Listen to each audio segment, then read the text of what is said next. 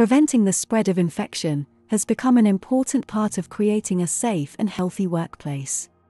It is important that everyone has a clear understanding of their responsibilities in preventing the spread of infection, so our workplace remains safe. Infection and infectious diseases in humans are caused when harmful germs, known as pathogens, or pathogenic microorganisms, enter the body and grow. These microorganisms are usually a few micrometers in length. So small they can only be seen using a microscope. Infectious diseases, unlike other diseases, such as heart disease and diabetes, can spread from person to person. As with all illnesses, prevention is better than cure. In this course, you'll learn how germs are spread and some practical ways to stop the spread of infection, helping you prevent and control infection where you work.